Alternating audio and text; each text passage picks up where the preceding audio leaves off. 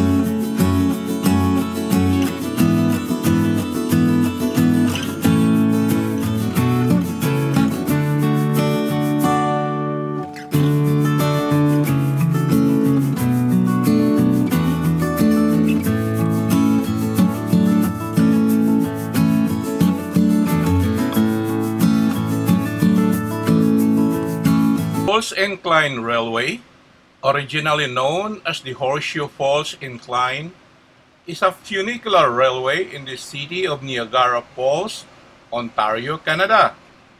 It is located beside Niagara Falls at the Horseshoe Falls.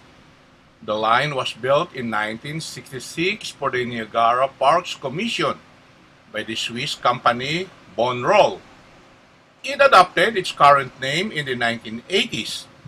Originally built with open-air cars, it was rebuilt in 2013 with enclosed cars to permit year-round operation.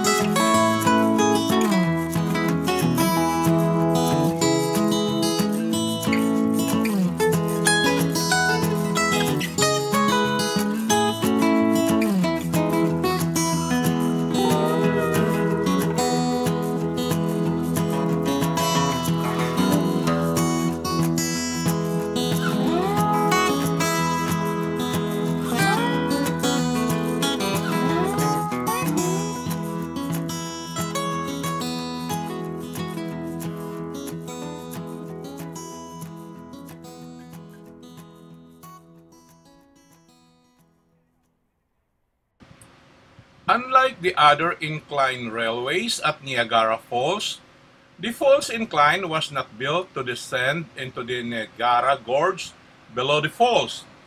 Instead, it links the Table Rock Center and journey behind the falls on the Niagara Parkway, just above the falls to the higher level Fallsview tourist area, including the Minolta Tower, the Niagara Falls View Casino Resort, and several hotels. The Niagara Parks Commission claims that the funicular is the world's slowest